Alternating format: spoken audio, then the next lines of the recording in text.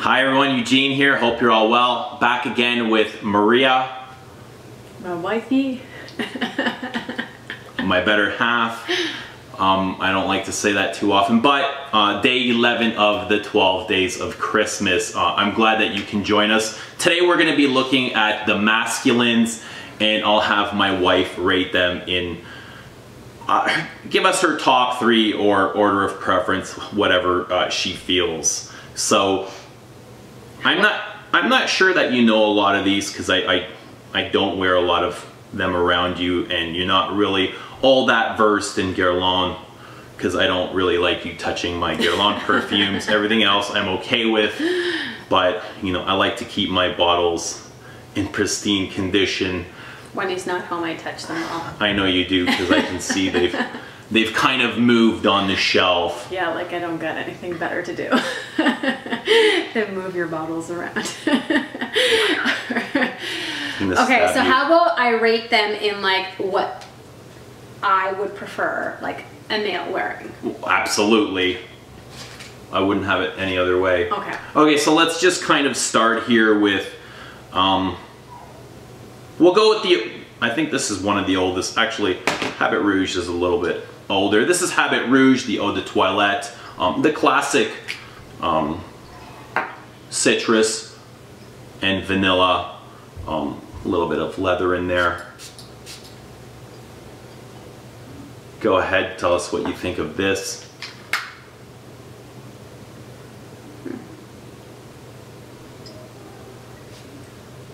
Kind of smells like spicy a little bit. Okay, I never really thought of Habit Rouge as spicy, but sure. Do you get any citrus in there? Yeah, I get citrus, but I also get like a peppery. Okay, yeah, I can see it kind of underneath in the background. To me, it's almost like this, this weird aldehydic, or not quite aldehydic, but this moldy vibe in the opening. Yeah, it smells off. Yeah, Yeah. Like it, don't like it. Um, I mean, I don't dislike it, but it's definitely that not like not something that excites me. Oh, does it remind you of anything? Is it fresh? Is it clean? Is it dirty? Is it outdated? It does smell musky, Okay. like a dusty closet. if that makes sense. Sure. I don't really get Like dusty, but to me it's a very wet fragrance. Okay, opposed may- to dry maybe like dusty. uh, not dusty, but It- like a it- stale closet. It, it could be the leather note that you're know. getting that from. But it's it's definitely nothing that excites me. Okay, fair enough, understandable. Habit Rouge, it's not for everybody. Um, let's go right to the Habit Rouge flanker. This is Habit Rouge dress code, very modern, just released in the past few years, and it's uh, to celebrate the 50th anniversary of Habit Rouge. Much more sweet. They made it more wearable for the modern man. I mean, it's not. Is it much different? Yeah, it smells completely different. Okay. But this is, uh, and I know I've said this before. I mean, like this kind of doesn't really stand out. This is not something unique. It's kind of what I would expect at Shoppers Drug Mart. Oh wow, really? Is that bad? like, there's just some perfumes that you smell and you're like, that has to be expensive. You can just smell the notes. This is like, I don't know. Okay, I quite like it. I mean, it's not a bad smell, but it's not. Is it sweet? I don't know. It's more. Yeah, this has a sweetness to it, and I like the heavier scents. I, I don't really like on men sweet perfume. Um, should we tell them like what my favorite perfume is of all time? Well, if they've watched The Feminines, they would probably your favorite No, perfume of all no. time. Oh yeah, like so. Take this video with a grain of salt because Since I was like 13. Remember what I know what it is. I'm kind of like wondering if I should edit this part out of the video Why? because I know what you're going to say. Joop. Joop, Yope. Is Yope or whatever. Yope is her all-time favorite. Okay, it's perfume. not my favorite now, but when I was a younger She's got this thing. That's what I would smell. I, I would you know. So it's a scent memory. It's a scent memory, definitely. And um, I actually quite like it. Our we have a neighbor that wears it, and immediately I recognized it when he was wearing it. Um, it That's right. It does. It definitely doesn't. Um, I don't think it's a quality perfume, but there's just something about it that I like. Um, I would say I'll pass on that. Okay, fair enough, understandable. Your tastes are your own. Okay, here we have um, Guerlain Vetiver, the classic. Vetiver. Is that like earthy? Well, vetiver is like a grassy Oh, plant. I like this. It's very earthy and green, and I like this. I know you do because you've complimented me on it many Oh, really? times. Yes. Yeah, I do like this. It does have a like a, a an earth smell. It reminds me of like walking. So it's a grass that kind Like of, it, that grows in Indonesia, and it's just like pulling out a clump of grass and smelling the roots. Mm-hmm. Yeah, it but it's also got a lot of citrus, and um, there's a tobacco note in here. Is there any vanilla in this? I don't believe so. Okay. It's um, it's it's It might have this earthy dirtiness to it. no, it doesn't even smell dirty to me, and it, it's not sweet at all. By dirty, I don't mean armpit dirty. I mean more like um, earth, Earthy dirt, soil. soily dirt. yeah, Yeah. it reminds me of like my hike I went on like a couple weeks ago. All you could smell was just soil. right. All the leaves were falling and So it's a very. To, Do you find it clean, it is very clean. like a white shirt and tie, maybe? Definitely. And, yeah. Yeah, this is definitely a very clean smell. Like I could I'm actually. absolutely thrilled that you love this. I do like this, and like sometimes when Eugene's not home, and I wash sheets, I'll go down and I'll smell certain it. perfumes, and I'll spray the sheets I knew it. with it. As long as you're not spraying them with Yope, I'm okay. Yeah, no, it's totally fine. But this would be something I would spray on. Okay. I love it. So can we Yeah. put this on, you know, the good side? Yeah, let's do it. I like that. Um, I actually struggled this one for a long time. I found it very outdated, and uh, I kind of choked on it when I first got a, a sample of it. But I'm uh, enjoying it much more later, uh, recently. Okay, so here we have. This is. Um, I think I brought up the wrong bottle. I was going to bring L'Homme Intense. I'm not sure which one this is. This is the Eau de Toilette. of Guerlain Homme. I want to bring the black bottle. Okay, so this is again another very clean scent. It's very clean, but the initial thought that came to me is my cousin used to wear Calvin Klein, and this kind of smells like Calvin Klein. And I could be totally off, but it has like, Calvin Klein, which like, I think of Shoppers Drug Mart, like something that you would pick up at Shoppers Drug Mart. Yeah. I remember my cousin wearing Calvin Klein and used to buy at the drugstore, and this is a very similar smell to this. Very I- generic for me. it's supposed to have a mojito vibe. Supposed to be fresh and clean, maybe some vetiver in there. I, I A lot of citrus, definitely some musks. citrusy. Um, it is clean, but it's boring. Oh, you know, you're not going to offend me because I feel the Or exact anyone same else, way. I feel like it's boring. So, pass. Yeah, I. Okay. I and I wouldn't spray it on my sheets either. I wouldn't let you. Okay, here we have, um, let's go with Heritage. This is the uh, vintage Eau de, Par- Eau de Toilette. I won't spray too much because this is an overpowering scent. I like this. Oh, this is like. Does this have cherry in it? No, it's got absolutely none of those tutti frutti crap that you would expect in modern I feel, perfume. like I feel like there was a sweetness in an opening note, and it had like a fruit smell to it. it might have some tonka. I really like this. What's in this? Cherry. I I do smell like Mm, I, I don't think there's any cherry at all. we're gonna. There but might be a lot up. of florals. Um, patchouli is the main, like it's built around patchouli Really? and ambers and a lot of spices, some frankincense. There's some incense and frankincense and incense for sure because I'm thinking of like the essential oils that I put on my body, and frankincense is definitely one. And patchouli, I'm not a huge fan of on its own, like as an essential oil. It's, right on its own. It's It kind of harsh the and greatest, it- yeah. outdated. But when But it's I mixed properly by I- a I- master perfumer, winner. So what do you think? I like it. Um, I don't think this is um, an everyday type of perfume. This is like us going out okay, on a day. dressed up. Dressed up. Is it masculine or is it? Do you find it masculine? Yeah, or very masculine. Very masculine. Yeah, leading? like if I were to smell this on anything, I would definitely think a male should be wearing this. Yeah, for, absolutely. However, I, like it's an 80s powerhouse. Like, would you agree with that? I would wear it. Would you Yeah. I, I think you would because it does. It kind of resembles your style, old church, dusty, dry books. Um, kind of, you know, the corners are, are broken. It's very sharp and strong, and the corners are broken down with some sweet, It has a sweetness to it.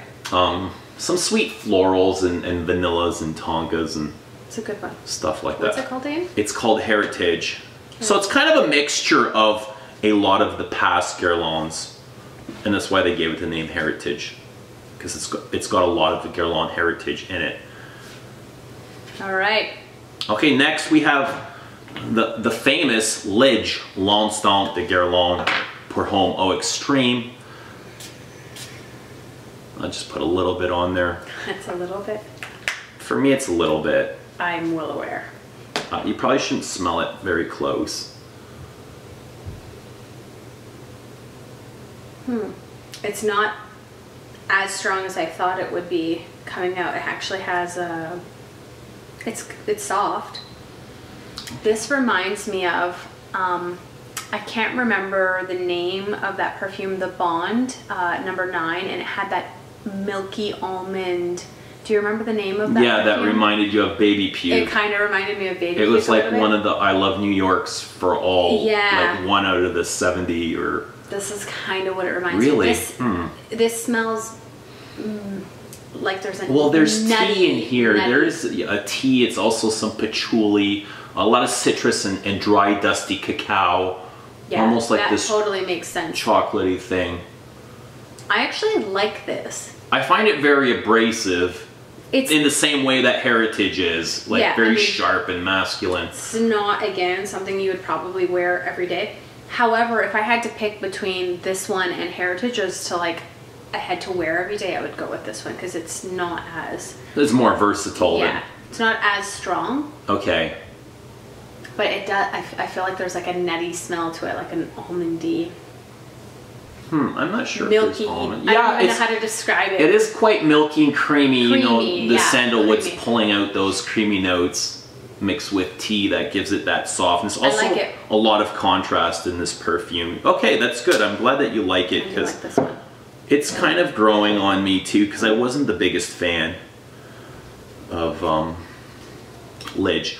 Okay, so in the last video we did the feminines and I kind of missed one and I'm gonna throw it in here just because I really don't want to leave her out. But this is Nahéma, the daughter of Fire, Jean-Paul Guerlain's um, one of his crown jewels. I won't tell you what's in here. I just want you to smell this. This is Nahéma Eau de Parfum, which is still available. Ew. I do not like This actually got me kicked out of the bedroom one night. Oh. I wore it, and you, like, not even a shower would do. You just kind of said, no, you gotta go. And I ended up sleeping on the It sofa. probably definitely made me sick. So this is the Grand Rose. Oh yeah, sorry. Very aldehydic and a lot of contrast. There's some greenness in here. I It's an absolute no. no, I- definitely. I, don't blame you. I mean, I absolutely love and adore Nahéma. And if this was like closer to bedtime, I would be like, not happy right now. Like I said before, anything early in the morning or late at night that's just overpowering, it instantly makes me. I think anything nauseous. that's yeah overpowering and very perfumey, um, It's too much You struggle with. Yeah. So let's try um, some sweeter things. These are a little bit more modern. This is uh, L'Homme Ideal. Try this. It's, I'd say it's a very popular, you know, designer release. Mm. I can see why. Is that in a good way or a bad way? Just very generic. Doesn't mm. really. That's kind of how I feel about it. Yeah. I do enjoy it from It's time safe. to time. It's It's safe. very safe. It's very safe. Like, you know, if any guy wore this, I would say most ladies wouldn't be completely offended by it. But I don't find it offensive it's at all. It's not offensive, but it's definitely not something that gets me excited. It's not really your cup of tea, eh? Eh, Okay, yeah. not really. Amaretto doesn't do it for you. Okay, so this is a flanker to L'Homme Ideal. This is the Eau de Parfum. Well, that was the Eau de Toilette. A little bit more grown up, I would say. I like this. Yeah? Yeah, I, I like it a little bit Yeah. better as well. I like this. This is softer. I find it's a little bit more powdery. sophisticated. Yeah, it could have It some powder. Like, yeah, I mean, I feel like I feel like a, a gentleman that is your age, this would definitely match very well. And when I think of this and when I smell this, this is like a 20 year old perfume. Yeah, for sure. I'm, 20 kind of glad that you said 20 that. age, I would say, you know, yeah. Drugstore, maybe a high school kid. Yeah, I yeah, that one doesn't accept. But this one's nice. This is actually pretty soft, so I would actually wear this. Is this a female perfume I mean, or is it unisex? It's it's it's it's a masculine perfume, but you I know you've Really? worn it in the past and you have complimented me on it. Actually, you've said some really nice things about it, so that Aw. Just pushed me to go buy it. I wouldn't have purchased it otherwise, but Yeah, I like this. I like this, but I definitely feel that this is more feminine than masculine. oh, really? Mm-hmm. Okay. I would definitely just because it's softer. This, yeah, it's definitely softer. I think it's a, a woman can definitely pull this out. Can I put this on this side? yeah, I like that one. Okay. And we got one more. This is um, I'm gonna I'm gonna do the sport. I have the the cologne as well, but you know they're all almost so similar that we won't even show it. But this is the sport. I don't really wear this unless you know we go to the gym, and when I feel like We go to the gym. You wear this at the gym? it's just so light and fresh and, and No. fleeting. You, you probably haven't even noticed that me wearing it. It's boring. But yeah, It's it's very. it's not something I'd ever invest. you know what this reminds me of? Hmm. Cool water. No way. Yes, way. Is it because the bottle is blue? No, it's because it has that very generic, clean smell to it. It is very fresh and. Do you find it aquatic at all? Like it reminds yeah, it- you. Of, this reminds me of cool water. Hmm, I don't. I don't get the cool water at all. To me, it's quite creamy and, and and you know it's got a nice hit of florals, which I- which makes it No, quite fresh. Some almond. I pick up a lot of almond in there. I don't pick up any cool water. I'm not a fan. I, I, understandable, but again, you know, Yeah, I, somebody I feel younger? like these are yeah these these two here are definitely something that I can see like our son's wearing in like five years. okay. So Guerlain really um Actually, probably not Focusing with you, on- but you know the average Yeah. twenty year old definitely would be. Well, considering you know our six-year-old wears Antaeus and Fahrenheit to kindergarten, I can't imagine he'd be interested in these much. So, No, all right. okay, so let's kind of go back to these and see if we can pick a winner. We've I got feel um, like I already know the winner. L'Homme Ideal. We've, we've got Lidge. Oops. Heritage. Great picks, by the way. I think your your your masculine picks are much better representative of the family um, flavor here than the, your feminines were. So, Yeah, for sure. all right, let's start with vetiver. Yeah. I'll just kind of respray this, and then just give us a score what you think, and then maybe we can pick you know a top three or in order. Ten. 10? I, I I'm gonna go through all of them, but this one is I would say the best. You think so? Yeah. All right. Let me smell the other ones. Okay. Yeah, I like this. Next, we need coffee beans next time. Coffee beans actually are, you know, contradictingly Oh, really? um, do quite the opposite. I actually learned this from a friend. Coffee beans dry out your nose. Don't ever take coffee beans at the counter. If you have a, a bottle of water or something, you're supposed to wet your palate opposed to drying it with coffee beans. It's just a, a myth. Probably much cheaper than handing somebody a, a bottle of water. This is still better than that one. So vetiver. Yeah, like Okay. vetiver. So we know, let's just say vetiver's number one. Is that safe to say? Yeah, Let's, um, I know this definitely isn't going to be because it didn't really do anything. Can I You're not supposed to ruin it. Let's let's go through. Okay, let's. So you've just smelt this one. Yeah. Okay, so you want to smell Lidge. I would I would rate that like a seven out of ten. Oh god.